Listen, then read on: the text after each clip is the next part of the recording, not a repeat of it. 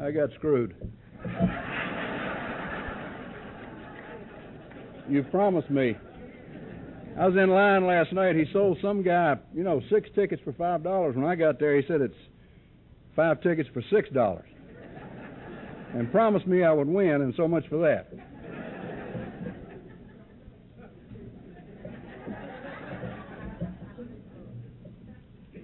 You had to say that, didn't you?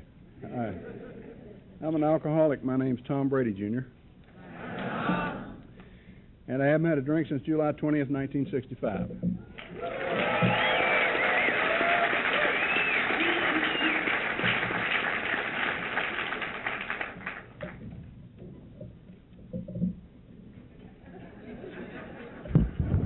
Look like the midnight cowboy coming up here.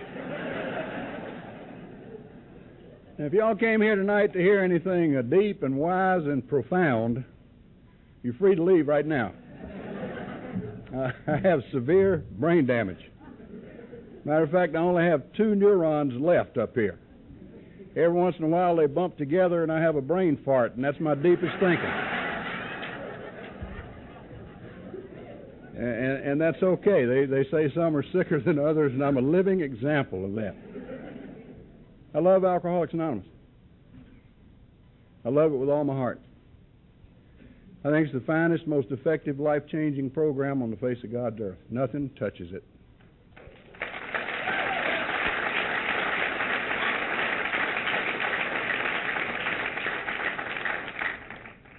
You know, it saved my life. It gave me a brand new life. It gave me a sense of belonging. And it gave me a family. Alcoholics Anonymous is my family. Now, I don't know any of you here, or many of you here, but you're my brothers and sisters in Kansas. And I'm happy to be a member of your family.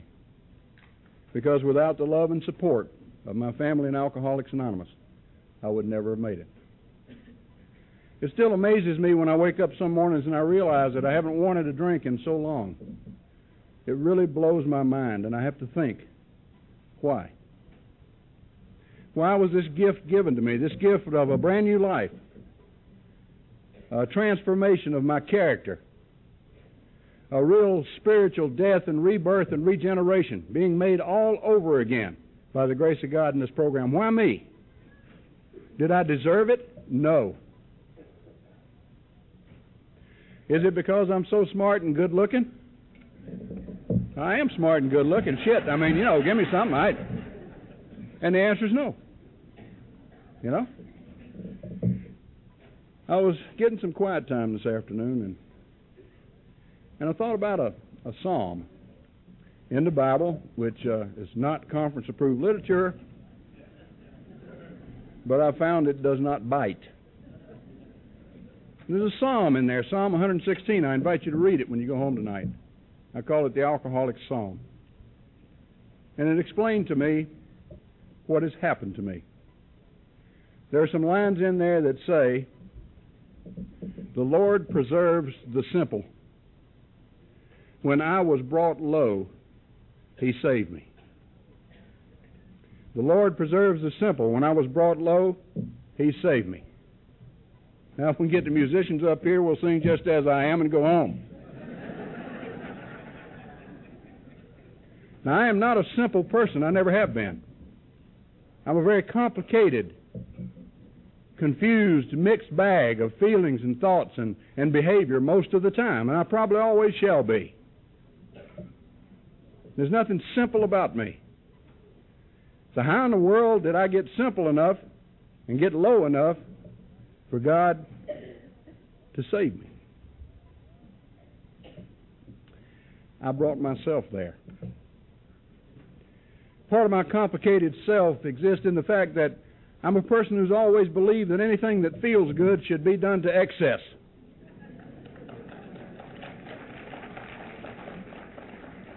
My philosophy has always been if it feels good, overdo it. So sometimes when food feels good, I eat too much. Sleeping feels good, I sleep too much. I remember when I found out sex felt good. I was by myself just like all of you were.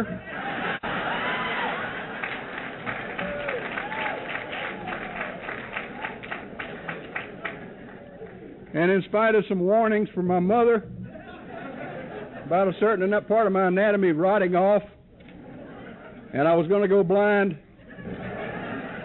It felt so good, I figured I'd keep on till I got nearsighted. I'd like you to know I succeeded.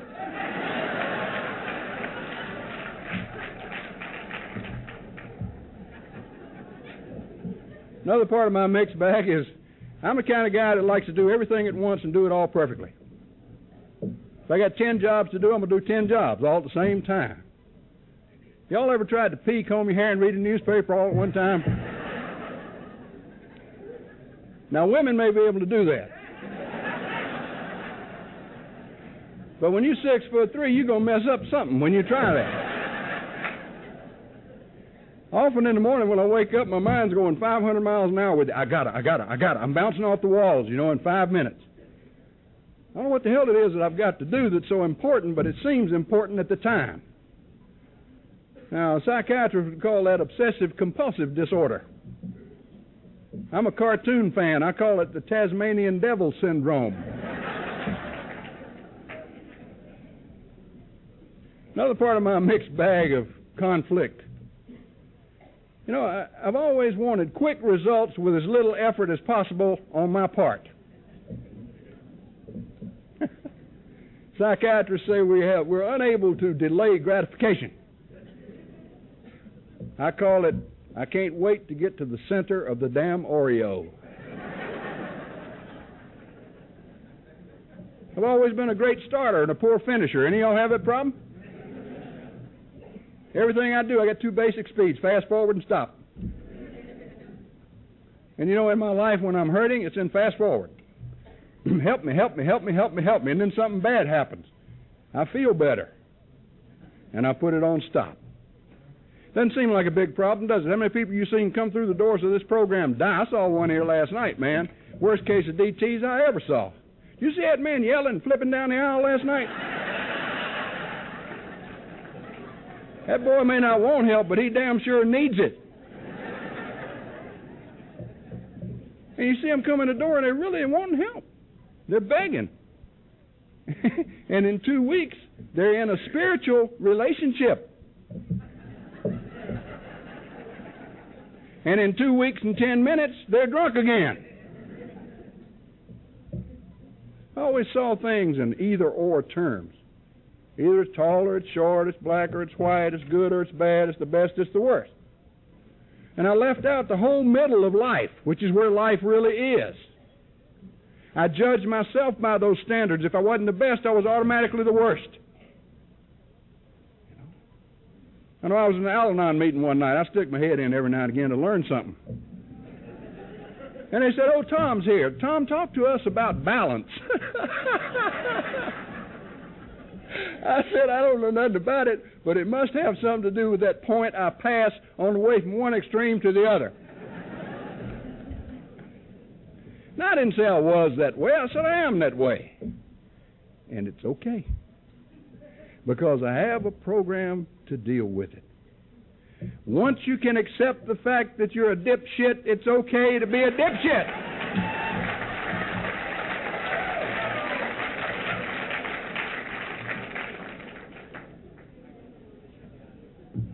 And because of these and my other faults, I was brought low. And God, through His grace, you know, I, God put up with a lot of crap from me, y'all.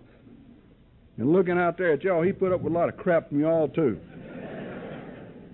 But God's good. Totally good. His name is hallowed. That means no bad can come from God. God loves unconditionally. I can't even understand that. He loved me when I was out there drinking and, and doing everything that violated my own value systems as much as He loves me right now. How do you comprehend that? Maybe that's the reason He's God. And He saved me. Because when I got low, finally, I got real simple. I got simple enough to take directions. And that's the reason I'm here tonight. I hear people talk at meetings about surrender. I hear some eloquent talks about surrender. You can talk about surrender until your ass falls off.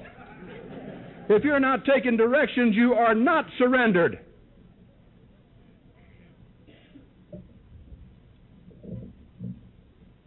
They brought me into this program. Spiritual program, Alcoholics Anonymous is.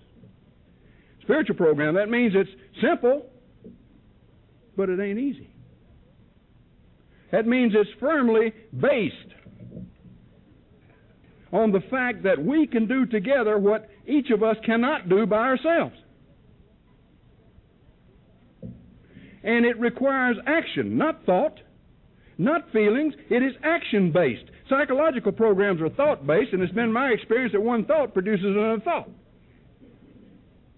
And which of you, by taking thought, can add one cubit to his stature? And if they're based on feelings, my experience has been one feeling produces another feeling. This program is about changing character. And character is not changed by thinking. Character is not even changed by praying. People have problems, they say to me, Well, I'm praying about it, I'm praying about it. I said, Are you following up on your prayer? When you ask God for something, are you getting out there and trying to make that thing happen? Then don't waste your time and don't waste His time if you're not. Heard a story one time about a rabbi and a priest went to a prize fight. And before the fight began, one of the fighters got down on his knees in the corner and did this. And the rabbi turned to the priest and said, That's one of your boys, ain't it? He said, Yeah. He said, Well, tell me, what does this mean? And the priest said, Not a damn thing if he can't fight.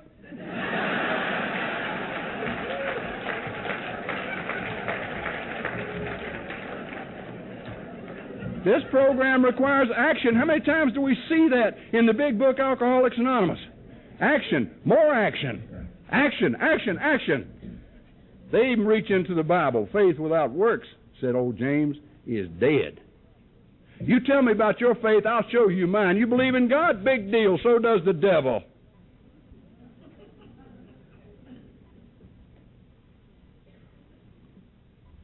Spiritual program.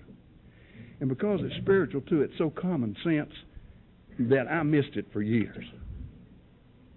A little child can understand this program. Matter of fact, children understand it better than we do. You know? For instance, the entering steps into this program, steps one, two, and three.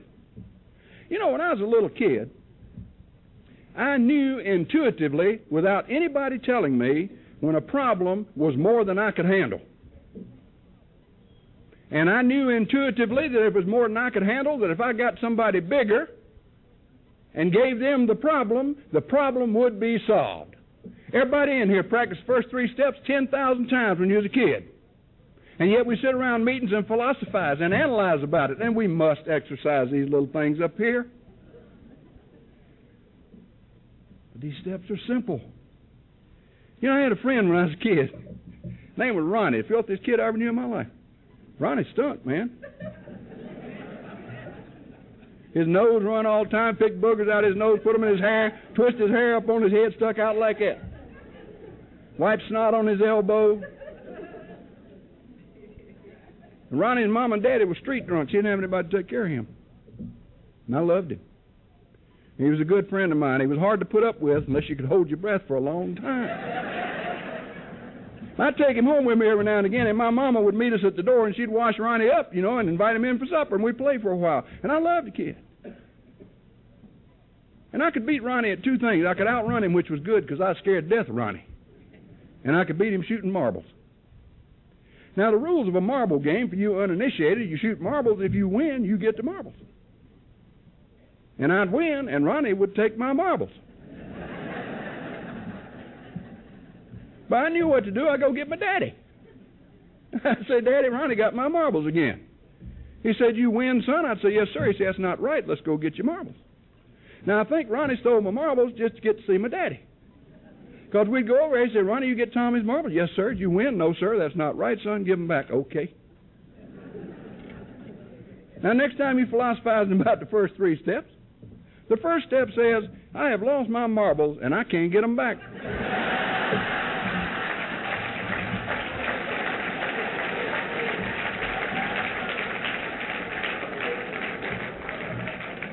And the second step says, I, I get somebody bigger, I get my marbles back.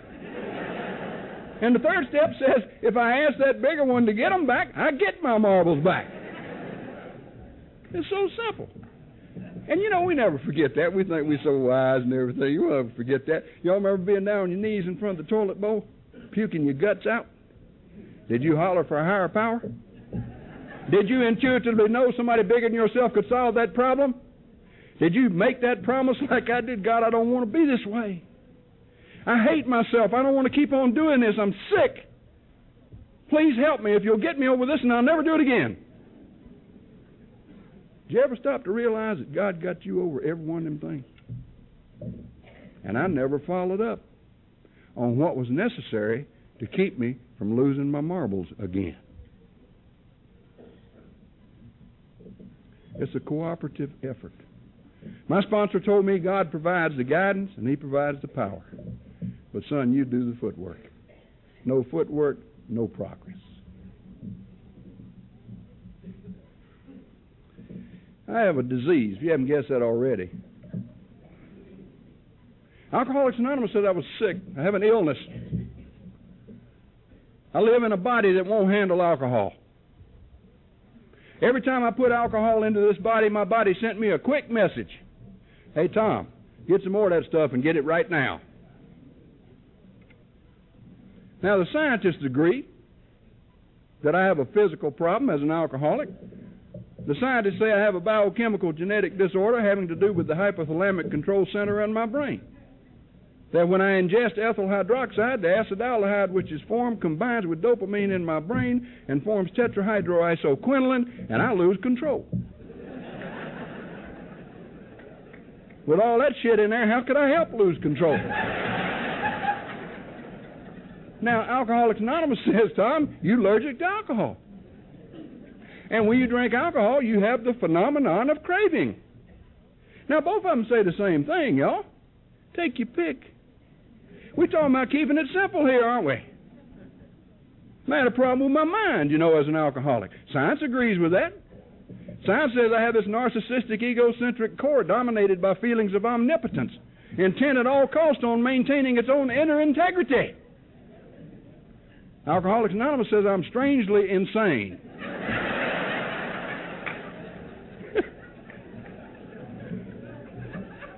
I have this crazy idea that someday, somehow, if I just handle it right, I'm going to be able to control and enjoy my drinking. Both of them are right. Take your pick.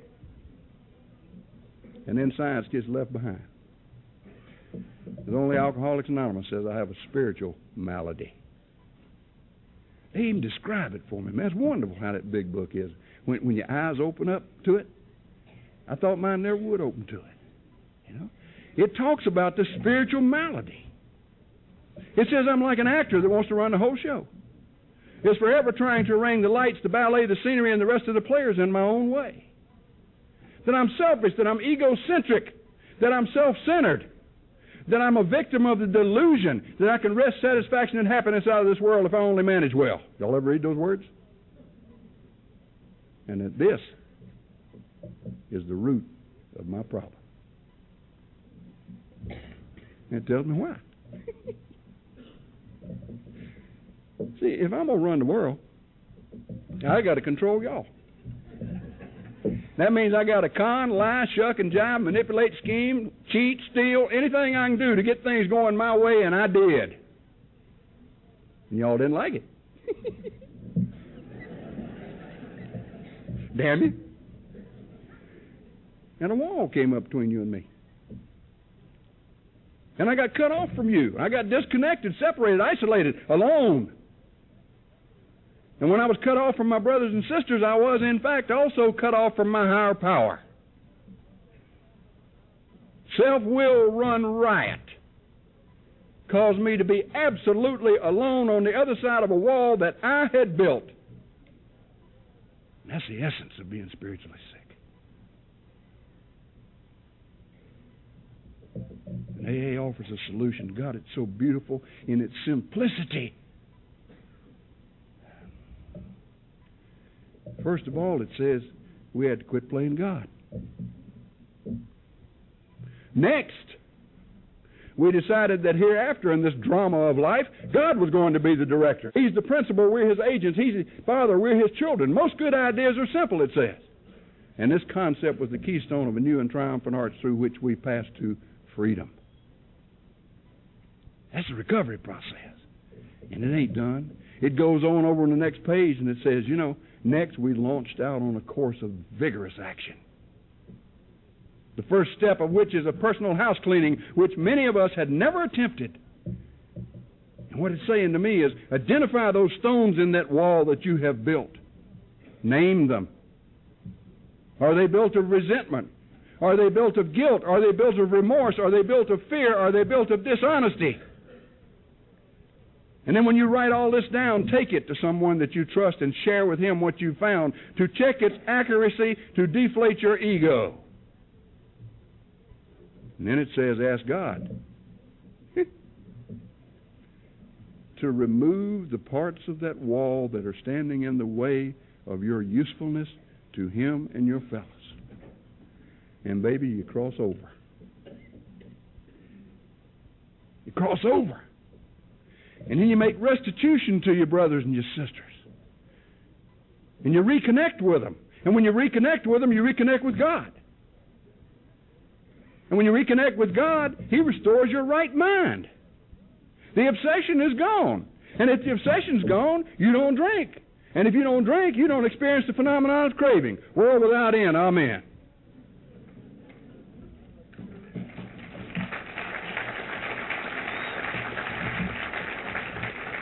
Now, this is just too simple for some people. Can't be that easy. Intellectuals have a hard time in this program, I know. The real low bottom drunks are intellectuals and very religious people. Intellectual, I'm trying to explain to him about my sobriety. He said, Man, you must be a strong person to be sober as long as you have.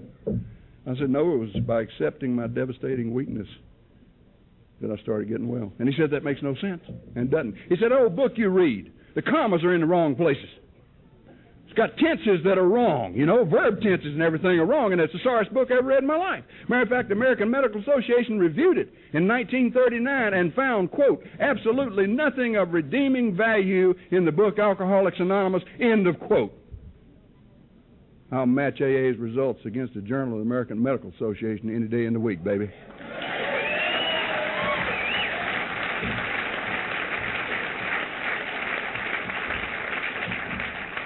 And it is a badly written book. Hell, it's written by a drunk.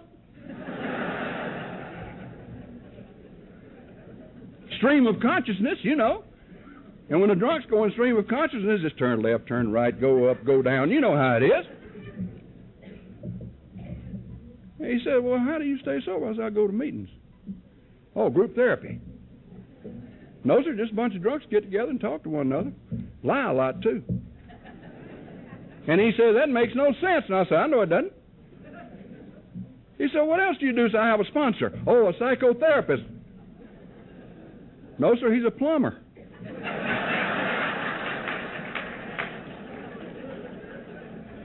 you see? And he says, That makes no sense. I said, I know it. Well, what else do you do? I got this program. Oh, the great metaphysicians and psychologists and theologians got together and, and laid you out a path. The no, sir, was put together by a bunch of drunks. Now he's pulling his hair. That don't make no damn sense. I said, I know it doesn't. He said, Who put this program together anyway? And I said, A failed stockbroker and a proctologist who had lost his ass.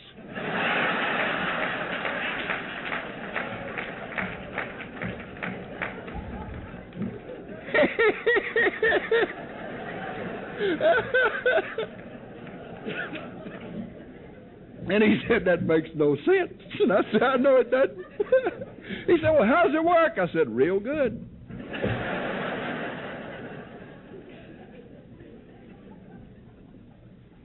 it's not a thinking person's program. Alcoholics shouldn't think anyway. Every time I see that sign in the meeting room says think, think, think, I want to run up there and put don't, don't, don't.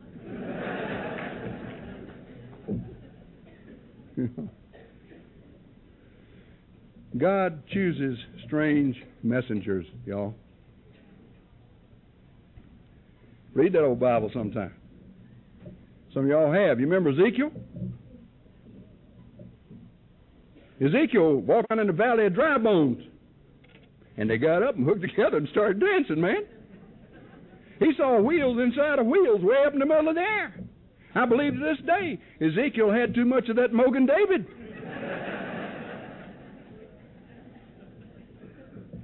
How about Elijah? Man run naked in the desert, eating grasshoppers.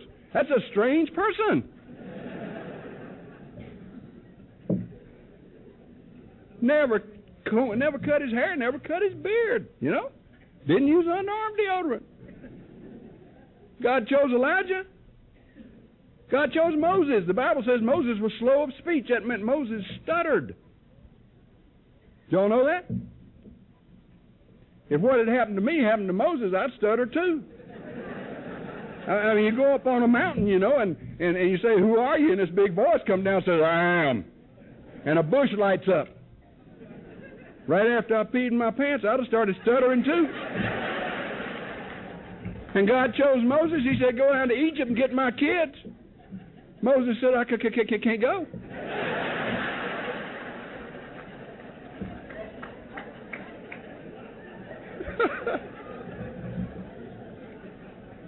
God said, I'll send your brother to do talking.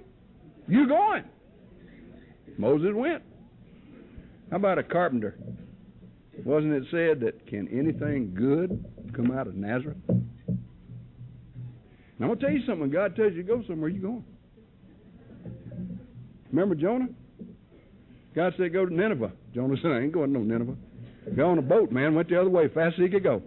Come a big storm. They had to throw him overboard. Big fish swallowed him up and spit him out. Do you remember where he spit him out? In Nineveh. the moral of that story is, in case you can't get it, if God tells you to go to Nineveh, your ass is going to Nineveh. So, what is so strange about God choosing? Listen to me.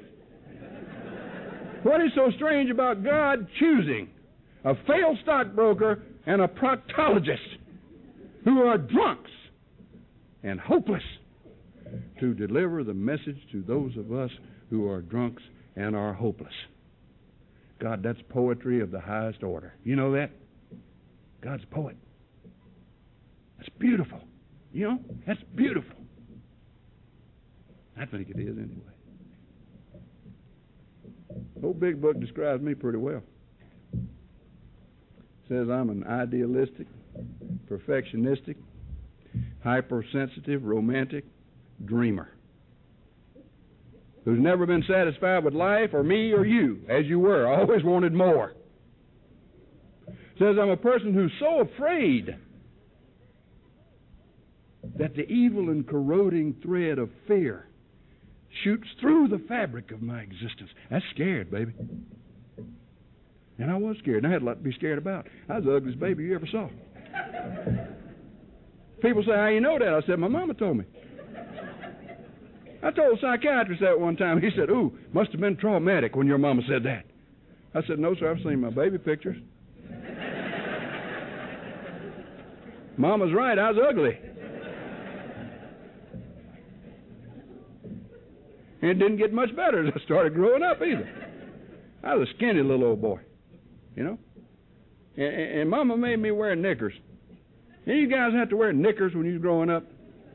And my leg is this big, and the knicker hole was this big, and it's always falling down. I spent half my life pulling up them damn knickers. Somebody said to me not long ago, "Hey Tom, knickers are coming back." I said, "Not on my ass, ain't."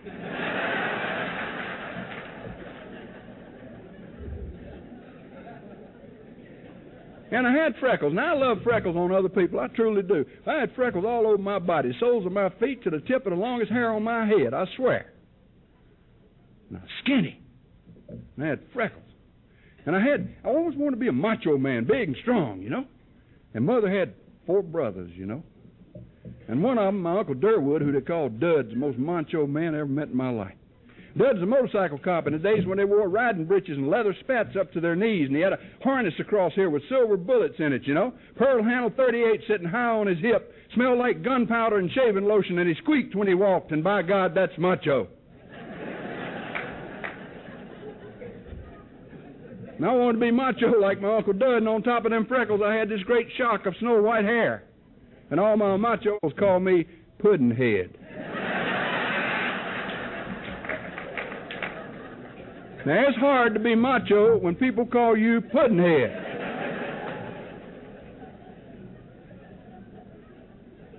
The only time I wasn't scared, the only time I wasn't guilty and angry, is when I was sitting behind my Uncle Dud on that Harley Davidson mo- police motorcycle with my arms wrapped around him. I was in heaven. I wasn't afraid of anything. You know what I mean? Even then, in retrospect, I needed a higher power. Uncle Dud's my hero. He's 86 years old now. He's still the most macho man. Can lie. That man can lie bigger than anybody I ever heard in my life. And I love every lie he tells, man. He's still my hero. It just tickles him when I say that. He got real sick. He had blood clots all in it. And I went to the hospital up in Burlington, North Carolina to see him. I walked in his room. I didn't say, hey, how are you, or nothing. I said, you can't die. He said, why? I said, because I won't have a hero. And he said, okay, I won't die. And by God, he didn't either. You know? We need heroes, folks. Hear me. We need heroes in this program. We do not need idols. Idols are these poor folks that we take and put up on a pedestal and demand perfection of. And the first time they screw up, we destroy them. Too much of that is going on. That's personalities above principles. Heroes are those people that live by principle.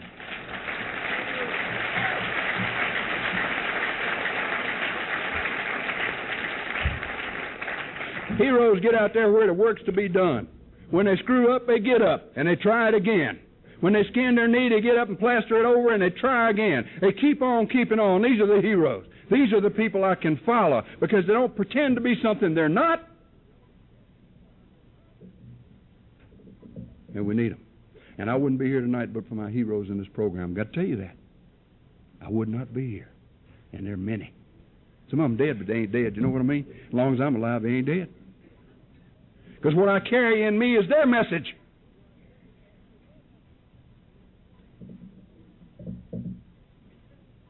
I didn't like me as a kid. And so it was very necessary that you liked me very much.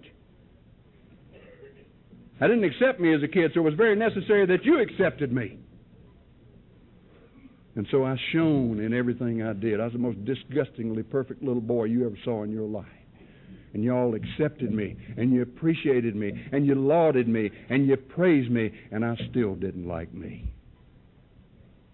I had this deep sense of being worthless. And no amount of praise could build it up. And that stuck with me long into the program of Alcoholics Anonymous. And it sticks with many of you out there right now. Some people call it lack of self esteem. I don't call it that. I call it self loathing. Wonder if you got it? Take a day and watch how many times you put yourself down during that day. When somebody says to you, I love you, do you start giving them five or ten reasons why they shouldn't? If they tell you you did a good job, do you tell them you should have done better? When you ask that loved one, do you love me? And they say, yeah, you say, really? You sure? How could you love me? Do you do things like that? Better take a look.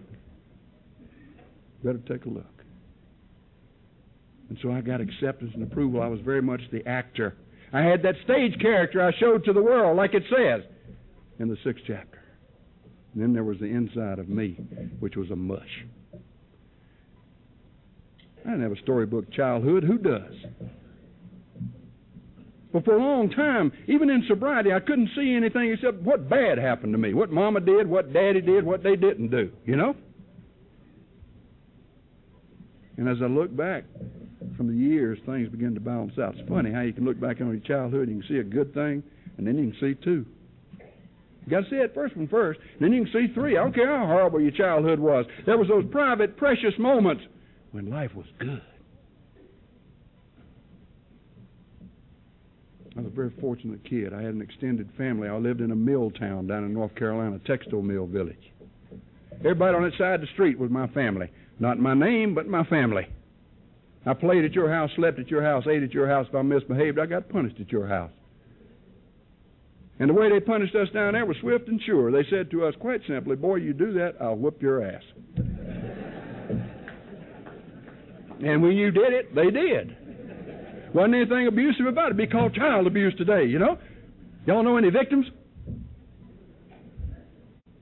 Victimhood's a growth industry in this country.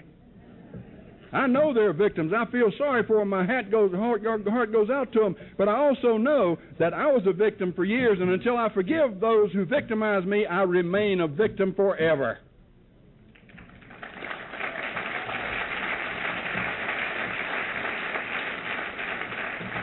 And to forgive does not mean to like or understand or justify. To forgive literally means to give up resentment, to give up the need to retaliate. Every other person I meet nowadays is a victim. I'm getting kind of tired of it. My, my, my, one of my favorite bands, the Eagles, they're getting tired of it too. They got an album out called Hell Freezes Over, just won an award, you know. There's a song on there that says, I turn on the tube and what do I see? A whole lot of people saying, Don't blame me. They point their crooked little fingers at everybody else, spend all the time feeling sorry for themselves. Victim of this, victim of that. Your mama's too thin, your daddy's too fat. Get over it. all this whining and moaning and pitching a fit, get over it. It's like going to confession. Every time I hear you speak, you're making the most of your losing streak. Some call it sick, but I call it weak. You drag it around like a ball and chain. You wallow in the guilt. You wallow in the pain. You wave it like a flag. You wear it like a crown. Got your mind in the gutter, bringing everybody down. Bitch about the present blame it on the past. I'd like to find your inner child and kick its little ass.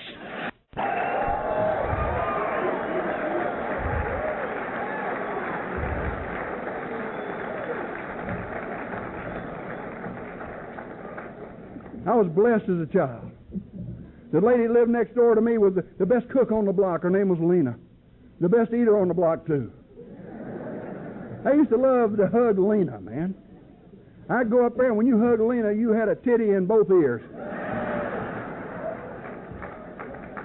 It wasn't nothing sexual about it. It's like being enveloped with warm, fleshy love, you know? And she rubbed me on the head and said, I love you, Puddin', and I just go, mm.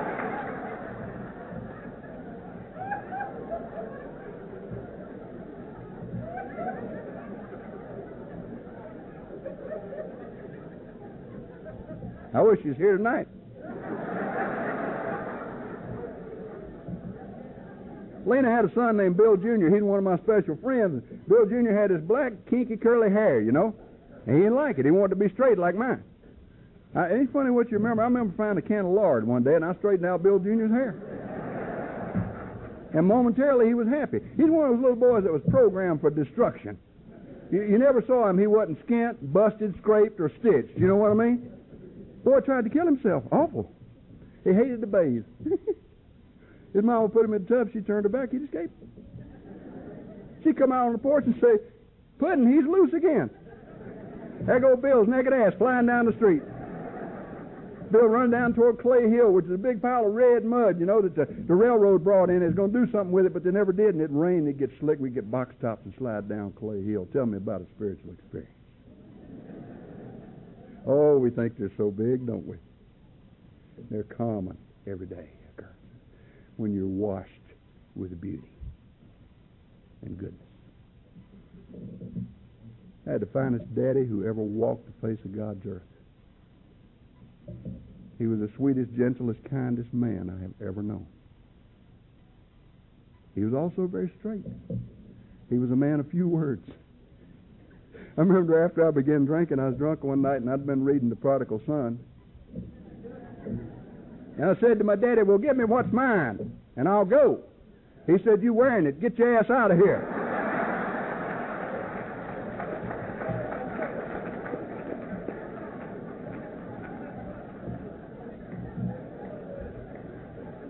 He was a good man, and he taught me a lot of things. You know, he taught me how to skip a flat rock across the top of the water. You ever done that? Taught me how to drink water out of the creek just after it goes over the rocks, son. That's where it's the coolest and the cleanest. Get it right there. Pointed out trees, you know. That's a scaly bark tree, son. That one over there is a Chinaberry tree. We call them Cheney ball trees down here in North Carolina. Oh, I loved him. He never said very often, I love you. He didn't have to. You know people like that? Being around him was like being love exuding to you. God, he was a wonderful person. My mama was a black belt Southern Baptist. Lord God, me and her fought. She demanded perfection of me. I made straight A's. I bring the report card home, and she'd find something wrong with it. You know, I hated my mother for a long time. I blamed her for everything that was wrong with me, and I had a lot of psychiatric help with that too. You know what? Mom's dead now. She wasn't. And I called her tonight and said, Mama, I need you to come to Kansas City and die for me. My mother would be right there. There's different kinds of love. Some people know how to show it, some people don't. Mama didn't, God bless her heart. In her later years when she got Alzheimer's, she hugged and kissed and loved me more than she'd ever loved me in my entire life. Phenomenal woman. Brilliant woman with a sixth grade education. She could run AT&T if she had to. Old man Lucas would come out of the house sometime going down to slop the hogs, you know. And he'd call me, and I'd jump in the wheelbarrow with the hog slop and ride on down to hog pen. And while he slopped the hogs, fed the hogs for you uninitiated, you know, I'd go over and catch crawdads in the creek and wade and drink that cool water. Walk on home barefooted because Mama wasn't there and she didn't know I had my shoes off.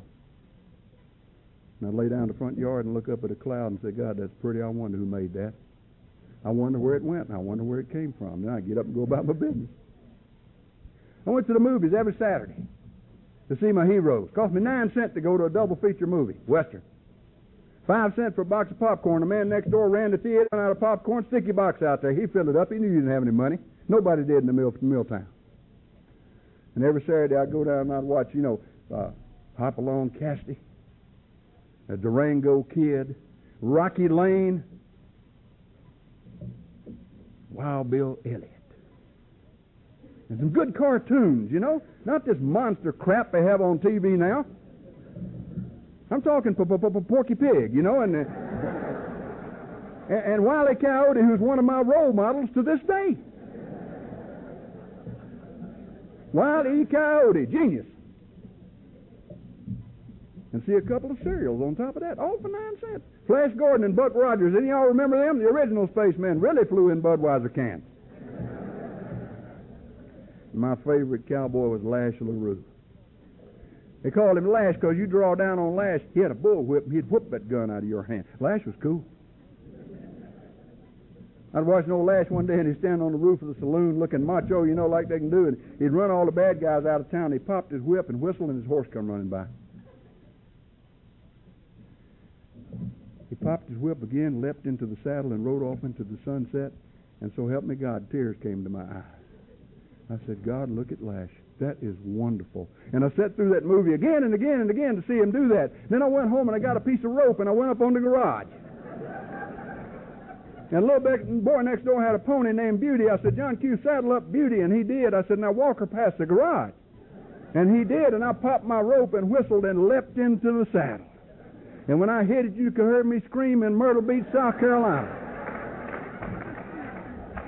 I don't know if that was a spiritual experience or not, but I ain't never forgot it. And 30 minutes later, when I got my breath back, I started wondering about Lash LaRue now.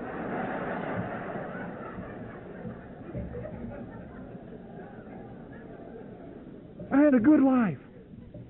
I had a good life.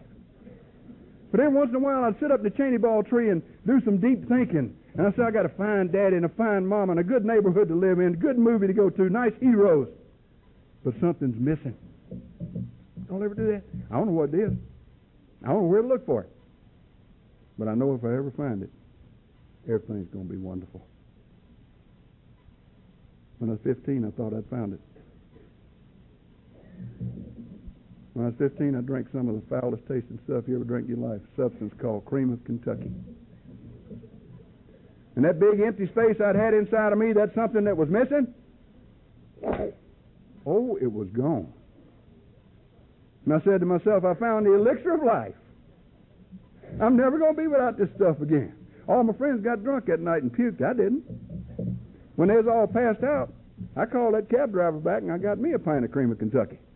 I was off and running. I had found the magic stuff that changed me instantly with little or no effort on my part. It felt good.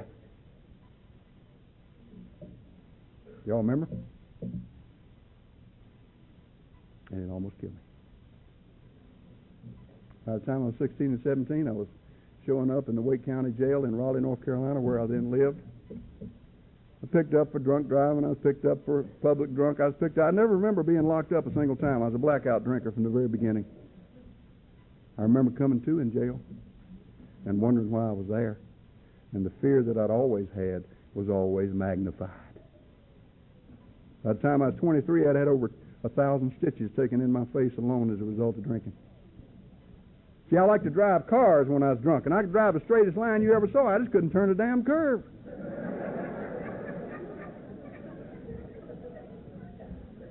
And here's this brilliant kid that all his teachers said he's going to make a mark on the world. I was making a mark, all right, on a lot of trees and a lot of fenders, you know. I even drove under a tractor trailer one night. That's what you do when you're having fun.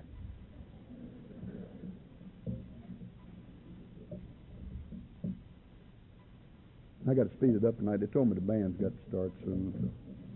Hell, I'm going to talk till I'm done.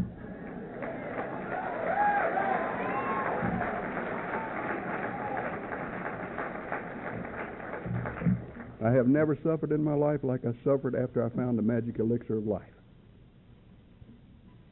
I hated my guts. I hated everything about me, even deeper than I had before. I had no friends. I drank them all up. Do you understand what I mean? Some of you do. I drank them all up. They didn't want anything to do with me anymore. my boon companions.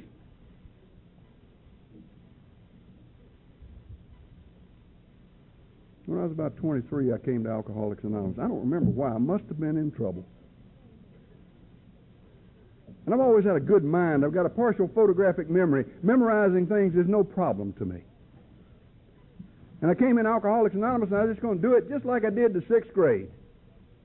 Memorize everything there, spit it back to the teacher, and I'd be cured. And I went to my first meeting on one side, 12 steps, on another side, 12 traditions. Up front's a guy with a blue book in front of him, and he's in control. I've always liked control.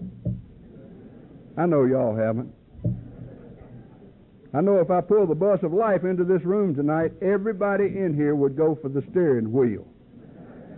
And Al Anons would be first, by God.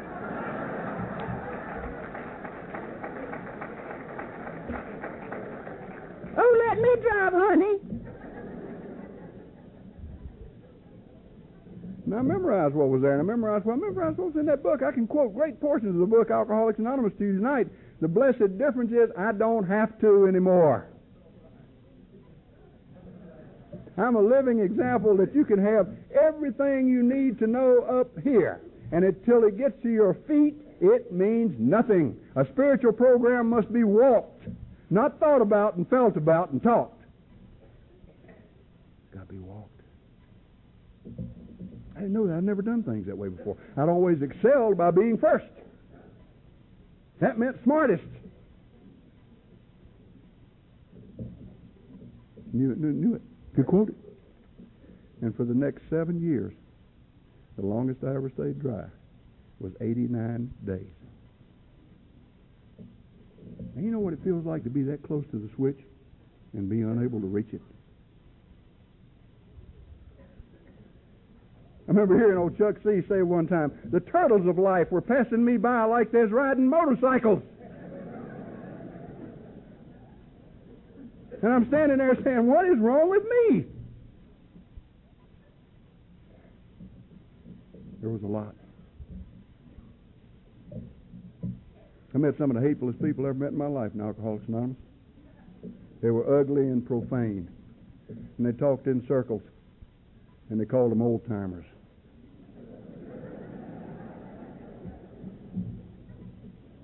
I didn't like them. And one old boy in Burlington, North Carolina, name was Bill C. I called him Grumpy. I hated his guts. He'd wait for me at meetings. He denied it, but he did. I know he did. As soon as I walk in the door, he'd point his finger at me and say, "Boy, how you doing?" I'm fine. Then he'd get profane.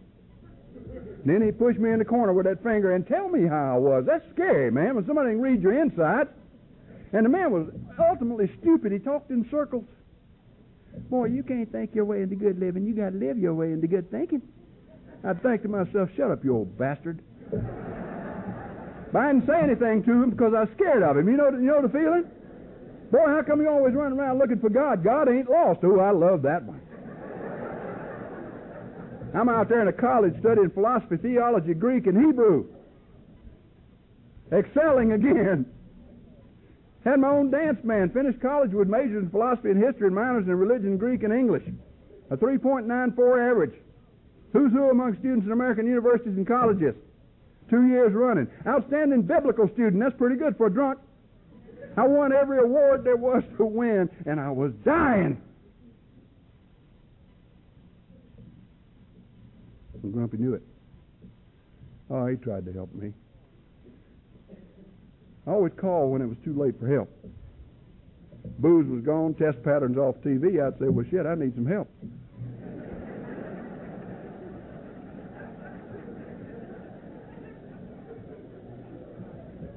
I called Grumpy early one morning and told him I need some. Boy, I could say a word. He said, Boy, don't you ever call me again, drunk. He said, Matter of fact, don't you ever call me again. You want to get sober, you know where we meet, and don't call me to come get you. You can walk. And frankly, as far as I'm concerned, I don't give a damn if you ever get sober. I'm a sensitive alcoholic. You can't imagine what I said about that man that night. And tonight, I bless him. Hear me. I bless him. Grumpy is one of my heroes. And Grumpy never changed.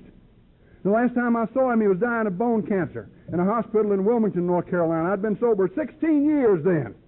And I walked in the door, and up came the thinker, and he said, Boy, you'll never make it.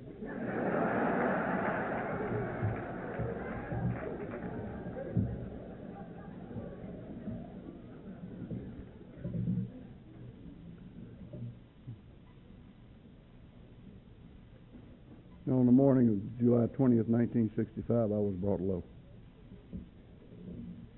I had to quit doing things my way. I had to. See, I tried to work the program my way. I read what it said, I did what it said, but I did it in solitude. This is not a solitude program. The magic of this program is the first word in the first step of Alcoholics Anonymous. is the first word in the first foreword of the first edition of Alcoholics Anonymous, and that word is we. And anybody who tries to reach that switch alone will never reach it. But we can do what I alone cannot.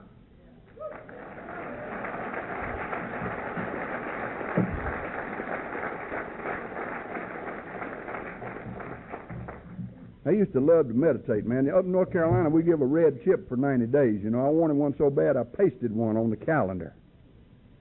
I used to go up after meetings and steal red chips. I wanted to be somebody. Can you understand this? And I was sick and tired of being nothing. And I done gone through all the other steps, and I figured meditation's interesting. I found out who the best meditators were. These guys shaved their heads and wore these orange bathrobes.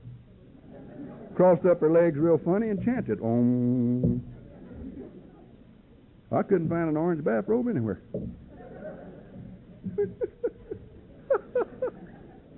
so I wore my old dirty blue terry cloth drinking liquor bathrobe like Beth was talking about last night. It was filthy.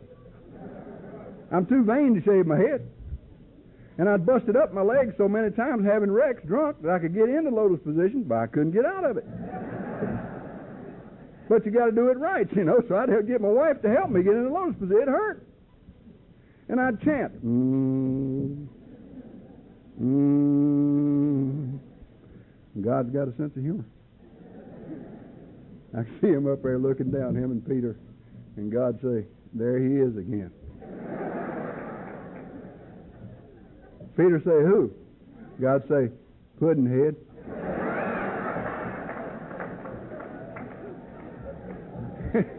he got on that stinking bathrobe. I wish he'd burn that thing. He wants a spiritual experience. He wants a lightning bolt. I'd give him one, but he wouldn't like the color.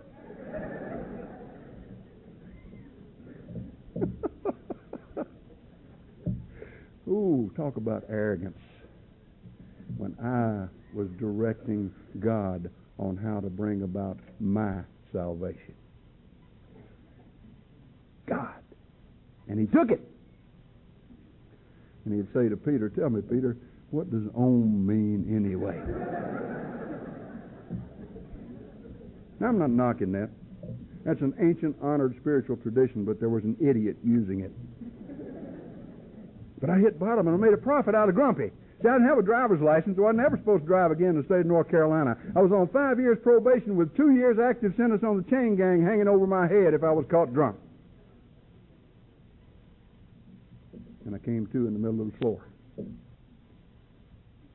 And I knew a couple things real clear. First time in my life it got past here and got down here. You can't drink, Tom. And you can't you can't quit. God, I understood what powerless was. Not here. You can't drink, you can't quit. What else are you? And you're gonna die.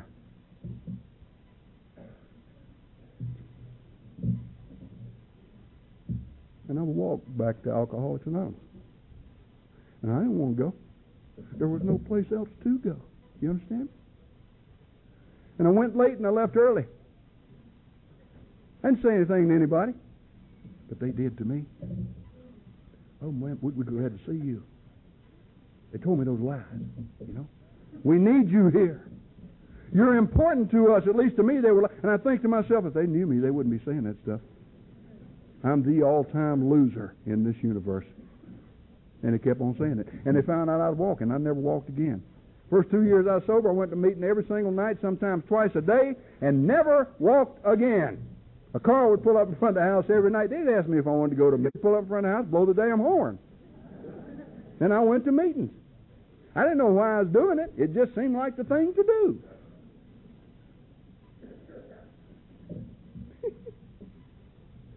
What we call group sponsorship. You know, I, they didn't give me their number and say, "Call me." They said, "Give me your number." I get six, seven, eight, ten phone calls a day from these people at that group. How you doing? We hope you're doing okay. Anything I can do for you?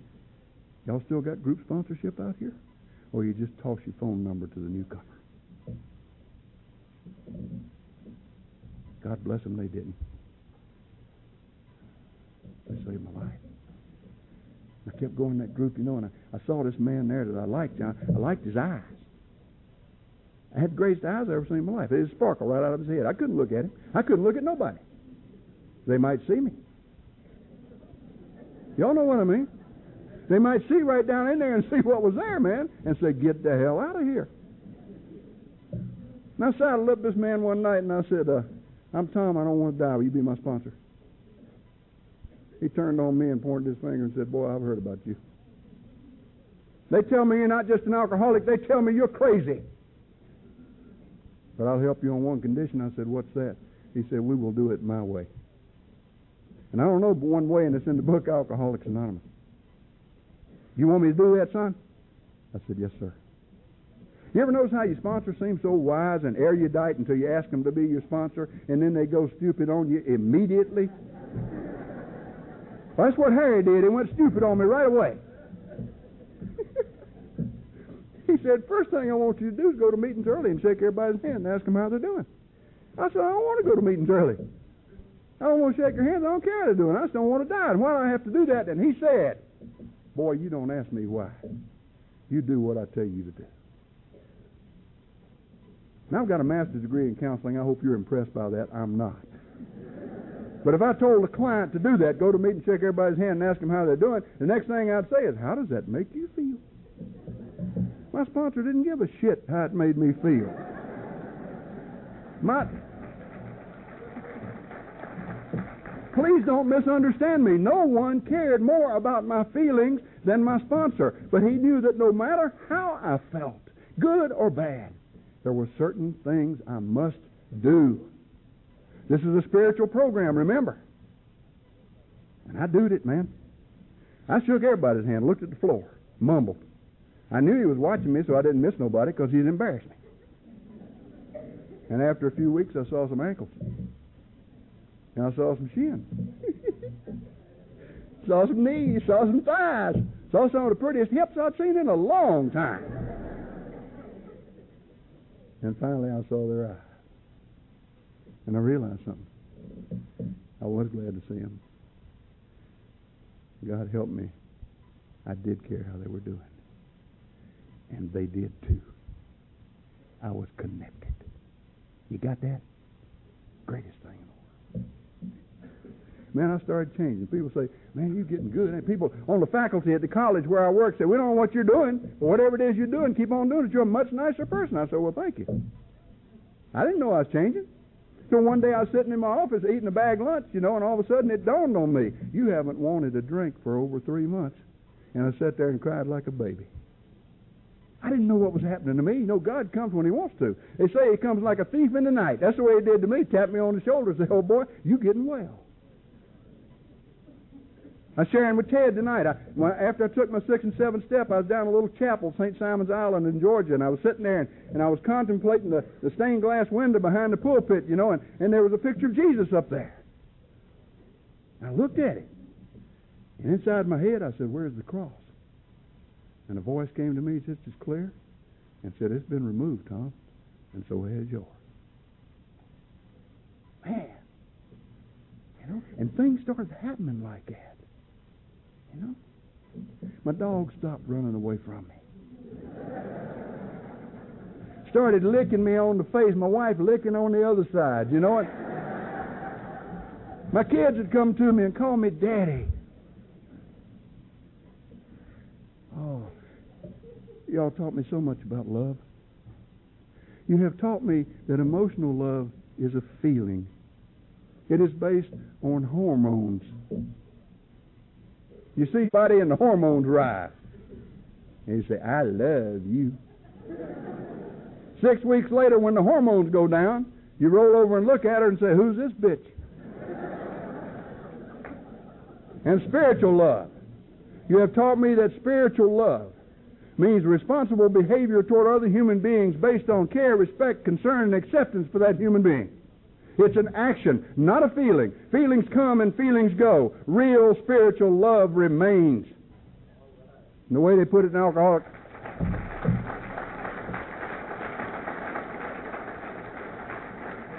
And the way they put it to us in Alcoholics Anonymous is real simple. Y'all ever heard this? You do not have to like everybody, but you must love everybody. Difference in feeling. Man, things got good, you know. That daddy of mine, you know, when I was 18 years old, I had an option from a judge. You know, go to jail or go to service, and I got patriotic. and my daddy loved me to death. He took me down that bus to go to the United States Air Force, telling me how much he loved me with his hand planted firmly on my ass, pushing me on that bus. He wanted me out of his life. And I don't blame him. I was driving him and Mama crazy. You know? And Daddy died. I've been sober a good while. He died with lung cancer. And it was ugly. But it was beautiful. You understand what I mean? And I sat with him and I found out how much strength he had. Morning before he died, he turned over and he asked me, Son, am I going to die? And I said, Yes, sir, the doctor says you are. And he said, When? I said, The doctor says it will be real soon. Does that frighten you? And here's my daddy. He's not a member of AA. He said, Yes, son, of course. But I learned a long time ago when you're scared you give the fear to God and go about your business. And he looked at me and he gave me the greatest gift he had ever given me. He said, Tony, I love you. You're one of the finest men I have ever known.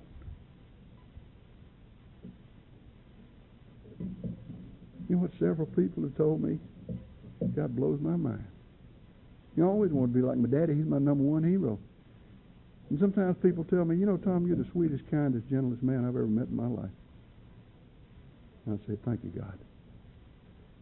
And my son Jason, you know, tells me it's okay to tell you he's in the program almost four years now.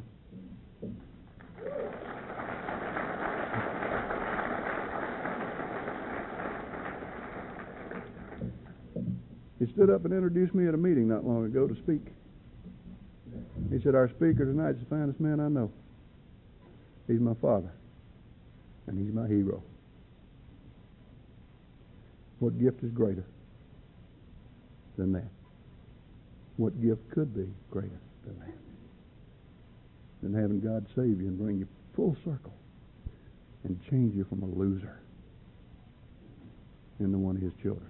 contingent on my continuing to give away every single thing that He has given to me. Now I've changed. I've changed radically. I'm going to change some more. I like changing. I don't like staying the same. Life hadn't been a picnic for me. The last five years has been a bitch, y'all. It's been the worst five years I've had in my sobriety. Had six or seven surgeries, one of them for cancer. I had cancer. I have emphysema. I have high blood pressure, deep venous thrombophlebitis. I married a beautiful woman that I love with all my heart. She walked out on me. Never loved a woman like that. Doubt if I've ever really loved one before until her. She walked out. Almost went bankrupt. My mother got Alzheimer's. My sponsor got Alzheimer's. Seemed like there was no end to it.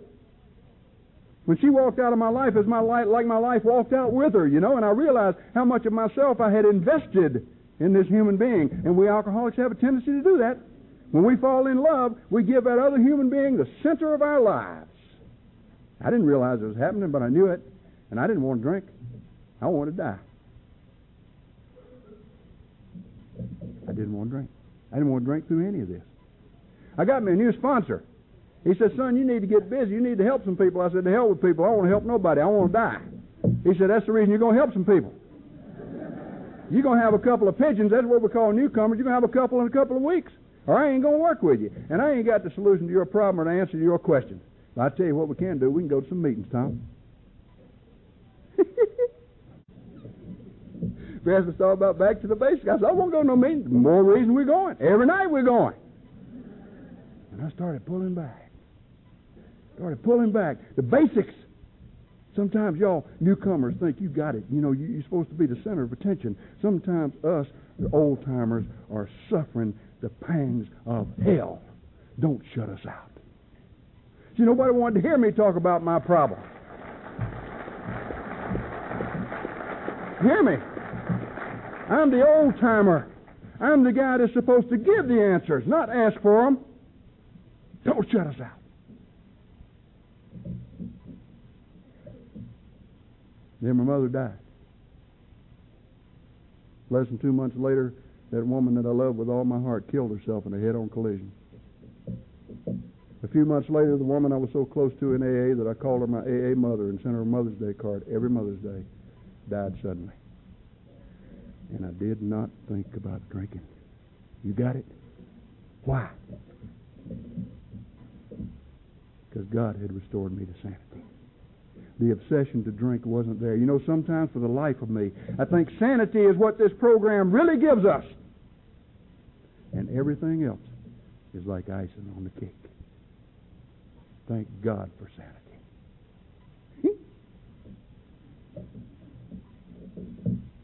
I'm going to shut up a minute. I have a friend in Alabama, and she's got a friend who's a singer, and she gave me one of his tapes one time. Said, "This song sure does remind me of, of you." And and this is a guy that writes top 40 hits for other people, and he sings at churches for free. I like that. And she gave me this song, and I put it on, and I'd like to, if I can, recite the words to you, if I can remember, as if it's a dialogue between me and my, my two daughters and my son, and me and my mother. God rest her soul. My oldest daughter, Christy, says, Dad, why aren't you famous? I said, Christy, I think I am. Because all the people you see here tonight came out here to give me a hand. But their applause isn't what really matters. It's what I can feel from their hearts. And if tonight I made dreamers of some who had lost them, I made friends with a few who were scared. Or if there's one new believer who came here a critic and I told him that somebody cared, then Christy, I always feel famous.